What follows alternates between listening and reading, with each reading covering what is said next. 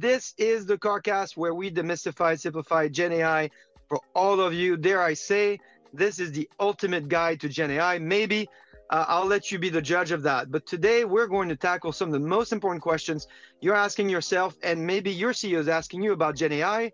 What are the worst and best practices for scaling enterprise AI? How do you pick the best Gen AI use cases to pursue beyond the typical value, cost, and capability matrix that people use? And then finally, what do you not know about Gen AI that you should? If we have extra time, we're also going to tackle some of the questions you've sent us, like how should I evaluate options across the Gen AI stack, models, applications, agent builders? What is Gen AI's killer app? So you're going to want to stick until the end of this CarCast to get answers to those questions, plus some additional resources. Now, you notice I've been saying we all the time. And if you're one of the 6 million people who follow this CarCast everywhere it's syndicated, you know that today I have a very, very special guest that's joining me to answer all these questions. But before I reveal the guest, if you're not familiar with this CarCast, you're not following it yet, take a second, hit the subscribe button because it's going to let you into our great community and because it also let you know as soon as a new video is available for you to watch and share. All right, let's talk about our guest. He is a former Gartner vice president. He is a top 10 speaker of industry conference. In fact, this week, he was here in Silicon Valley keynoting an industry event. He's a very prolific writer in the topic of data observability, data products. You can catch him on his podcast called It Depends where he invites brilliant guests to share their discoveries in the world of data, AI, and analytics. And this coming week, he's going to be at the Gartner Data and Analytics Summit in London. So you're going to be able to see him there. If you have not guessed this just yet, my guest is no other than Sanjeev Mohan, also known as Sanjmo. Sanjeev, welcome to the CarCast. Bruno, thank you so much for such an amazing, kind introduction. I am honored to be on your show. Of course. Well, thanks for taking the time to talk to us. And I notice even on your desk, you've got those brilliant sunglasses. So you're going to be on brand today for CarCast. Let's get going with the first question. You spend a lot of time with customers. You've seen incredible success. You've seen struggles as well. What are the worst and best practices in use right now uh, when it comes to enterprise AI? Great, uh, great question. By the way, I got my glasses especially for you, so so we we look like twins here. I think the worst practice, uh, in my opinion, is people who are telling me Gen AI is not ready. I'm just going to wait and see. I think there can be nothing more horrible than than people uh, sitting on the sidelines waiting for this technology to improve. I strongly believe that we should just get in, get our hands dirty, keep the cost uh, in mind. But also, the worst practice is to start treat it as a technology project. Gen AI is a business initiative, not a technology project. Now, obviously, you need technology to be successful. So, so start with with your business counterparts. So the, the best practice is pick the right use case that is strategic to an organization. For example, an organization may say that you are going through some economic headwinds. We want to save cost and we want to improve productivity. Great. So that's a starting point for the conversation. But productivity of what? So somebody says, well, I volunteered, let's see developer productivity. Okay, perfect. So now comes the next question. What do we mean by developer productivity? So somebody says, you know, we've heard that large language models can be used to generate code. So let's see if we can we can reduce our, our cost by leveraging LLM to to write code for us. So that's good, but what code do you want to write? So one uh, user may say, I want natural language to uh, do SQL generation. Another may say, you know, I've got Python code. Another uh, team may say, well, guess what? I know that there are these models that can do COBOL to Java. So maybe that uh, mainframe modernization project that we we we failed to implement, maybe maybe now there's a life, and if we can migrate 60 to 80 percent of our mainframe COBOL code into something new, we can modernize a mainframe or migrate off a mainframe. You see, so all these options open up, but nothing happens unless you have the business with some strategic use case initiating this process. And it's a great opportunity when it comes to Gen AI to engage the business. You know, my observation has been that typically the folks that win, they have a principled approach, right? They mm-hmm. they think about the performance and the cost equation that you just mentioned. That's really important to understand what your trade-offs are. They think about security, right? So they figure out, okay, what are the guardrails that I could effectively enforce? What models can I govern? What agent uh, creation and output can I really understand? They think about transparency and the origination and also the audit of the output. How do I manage citation and how do I audit the output that's that's being created? And then finally, the integration. I think we talked a little bit about this uh, offline earlier, where integration across infrastructure, the models, and the applications matter. One thing I know we're going to talk about is this idea of grounding and data. You know, what I've learned is that you need to have a two model strategy a strategy for small models and a strategy for large models because the use cases tend to differ when you have around internal data data that's originated from your application where precision is really important small models and precision on those models really important. Whereas generic questions around industry best practices coding like what you just talked about as an example where you're trying to learn from the community best practice around coding might be acceptable for large models. So there is a little bit of a principle for your organization as well as the right size model for the right size use case. Now, when we're talking about use cases, you've also seen a lot of how organizations think about organizing their use cases. How should you pick the best Gen AI use case to pursue beyond just this idea of value or strategic importance or capability? We have already seen that uh, Gen AI has now demonstrated success in certain areas like customer success. So that we can now put chatbots and we can automate a lot of Q&A and reduce. In fact, there are some very famous use cases like Klarna, save uh, $40 million. Their chatbot saved the amount of work which would have required 700 people which is which is massive. You know, we don't uh, have that kind of capability to hire an army of, of people. So we, uh, we have to be very careful about not only does the use case need to be strategic, but what is going to be the value, the cost, and the complexity. Yeah. What I propose to to my clients is that is to have a sort of hackathon, or the business and IT team should work together. They should say, you know, these are our pain points. These are areas where we can we can leverage AI to become more efficient. Prioritize those based on on cost, value, complexity, then go into the model. So you mentioned strategy for small language, large language models. That is exactly what we then need to do. We need to figure out what is the right model. One extremely important point is, is that in data, we made a mistake. So Bruno, remember, like you were an early part of this big data journey where we started off with a technology project and we neglected data governance what I'm saying is that we've learned our lessons. So the two important lessons that I have learned is one, your governance cannot be an afterthought. As you are going through this whole journey of trying to identify for your industry, your organization, which are the right use cases, document them. And they're already AI governance is a topic, but there are some some really good tools out there that will let you go through this whole process of selecting the use case, selecting the model, experimentation, understanding what value you got, iterating on that. You want all that documented. So that's one, one lesson I've learned. The second lesson that I, I've also learned pretty late in my data journey was the importance of product management.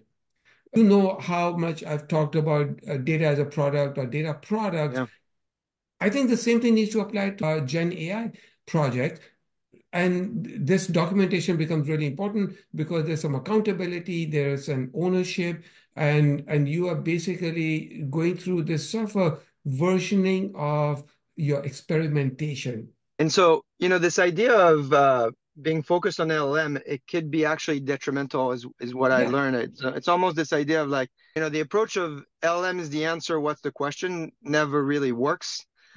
Yeah some some of the customers have observed that one customer in particular uh, told me, he said, you know, Gen AI is about multi. And I said, what do you mean multi? He said, well, when I think about it as that it's multimodal as a principle, uh, we know that's going to be the norm, right? And second, it's multimodal. What I mean by that is multiple models. Yeah. It's rarely going to be one model that's going to be the answer to everything, and being able to do side to side comparisons important. Third, it's multi cloud. So you have to realize your data is across multiple clouds, so you need openness. Then it's multi-step. We talk a lot about context, and people, I think, have a hard time understanding why is context so important. Is because it's not just the size of the of the context itself, but it's how much the context can help you drive precision. And here we talk in terms of tokens, but often we need to translate these tokens into what they actually mean. So, for instance, 1.5 million tokens, what is that? Well, it's estimated to be about 700,000 words. Well, the average book is anywhere between 50 to 80,000. So 1.5 million tokens, that's eight books. And that means a mm-hmm. lot. It being able to ingest eight books, it's incredible context. And then finally, and you said this earlier, multi-year, right? This is not something that's just going to happen this year and then you'll be done with it. Just like it was with big data, you're going to have to live with the evolution of that across multiple years. All right, mm-hmm. now there's the flip side of that, which is when not to use Gen AI. There's a lot of research in the market showing that only 4% of your data is in fact Gen AI ready. So how do I think about that one? So that that's quite easy. By the way, I, I love the way you said, you know, multi-model, multi-step, multi-year, uh, multi-cloud. Each of those could be a chapter in in your next book if you were to write on That's a great way to put it. So to answer your question, you know, when should you not use Gen AI? Uh, people who are skeptical about Gen AI and who are even watching this video are probably shaking their heads and they're saying, I think you guys are, are going too far ahead in Gen AI because my data is not even ready. So that's the first step. When should you not use Gen AI? Is when you don't even know what data you have. You don't have a good handle over what sources of data you have. How many copies of data do you have? Which is which is the single source of truth? and you're off on the Gen AI journey. So I think the step number one is to get your data house in order. Without that, there is no Gen AI. The second uh, topic is so if we were to say, okay, so let's take let's take a leap of faith and forget data for a second and just talk about Gen AI. Your second place where you should not use Gen AI is when you must absolutely have uh, have uh, bulletproof reliability and accuracy. Because Gen AI is probabilistic. So you cannot expect Gen AI actually the beautiful part of Gen AI is that I can ask Gen AI questions that I can never ask uh, through a SQL. Because to your point, like you said earlier, because it understands the context and it's been trained on so much data, I can add it, I can ask it to create me a plan or tell me why my sales are, are erratic when these conditions happen. I can ask these questions in, in English or French or whatever language I want, and it'll translate it. By the way, the same language model will translate all these languages, which is the other beautiful part. But the, the thing is that there's no SQL uh, for this because you're asking a very archaic a question that's very contextual rather than very deterministic. A lot of people listening here probably think there's an insane amount of knowledge they gotta get in order to understand Gen AI. So maybe let's help them here. You know, tell mm. me something about Gen AI that 99% of people don't know. Maybe a better way to ask is, what do people not know about Gen AI that they really should? The reason why we are struggling to some extent with Gen AI is because there's so much emphasis on prompt engineering. I was just reading yesterday a very interesting article. Anthropic has created something called a prompt generator for its LLM of Claude models.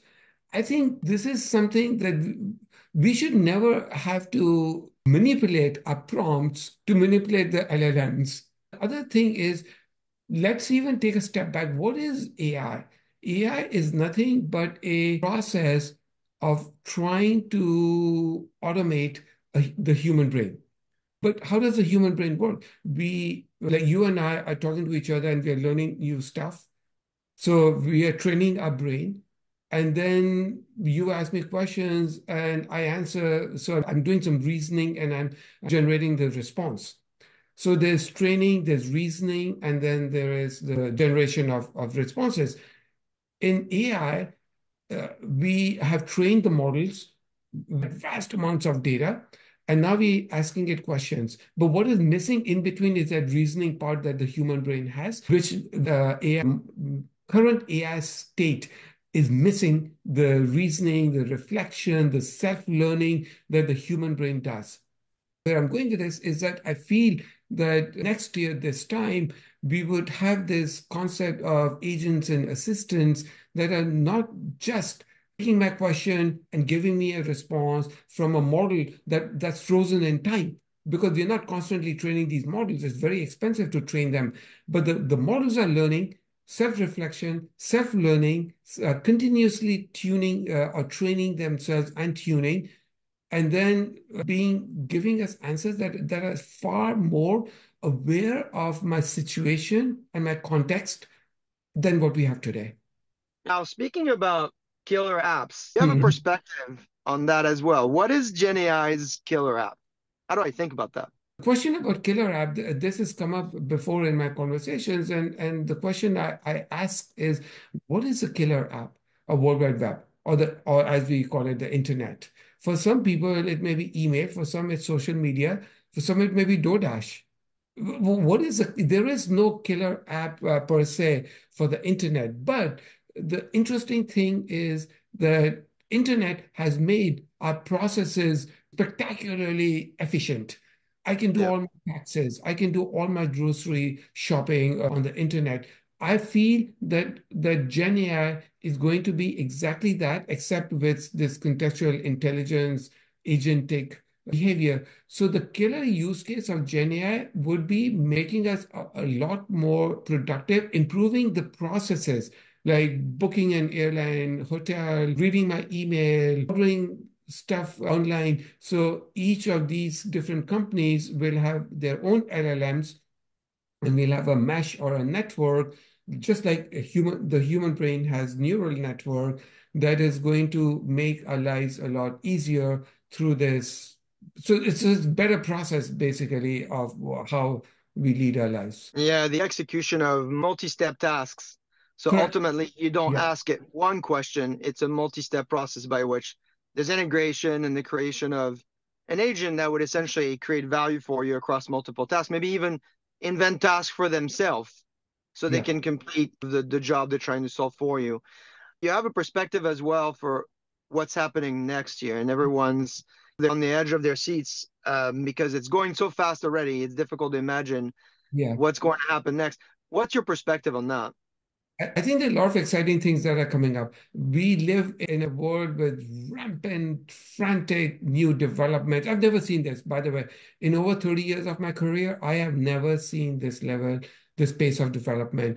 There is a arms race going on uh, across both LLMs and the hardware or the GPU chips.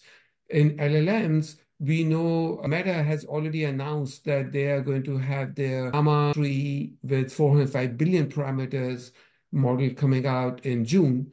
Also, GPT OpenAI is overdue now. Any day they may announce the next version of GPT, which would be probably GPT-5.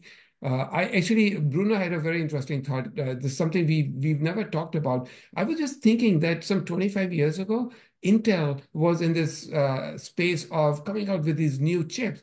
Do you remember when we used to use 80286? Yeah. Then 386 came out.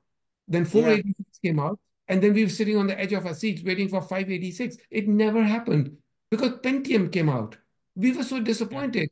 What, what do you mean Pentium? We were expecting 586. So maybe GPT-5 will be GPT Pentium or something like that. So that's a clever analogy. So so I, I was just thinking, wow, we are reliving those days 25 years later, except it's no longer CPU, it's either a GPU or an LLM. One more thing that's happening in June uh, is Apple's Worldwide Developer Conference is going to happen.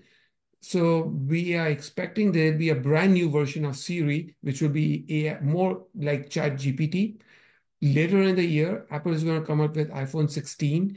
Most likely, it'll come out with uh, it will have a GPU. It will have some sort of a language model on it. So, so these are some interesting things that are coming out. New hardware devices are coming out, and then agents uh, will become more pervasive. That's a lot to uh, look forward to just for the the summer. Uh, like I said, Sanjeev, I know uh, we could talk here forever. Uh, where could people find you? The best way is to follow me on LinkedIn. I would be very grateful if people follow me, subscribe on my It Depends podcast. Thank you for mentioning that. And my Medium blog. It's very easy. You just have to search for my company name, Sanjmo. It depends, or Sanjmo at medium.com. And I'm going to put the link to all of that down here, both uh, as a banner as well as in the comments. Sanjeev, thank you so much for spending the time with us uh, today. And of course, if people want to catch you, they can find you in London next week. And with that, we will see you next week. Thank you.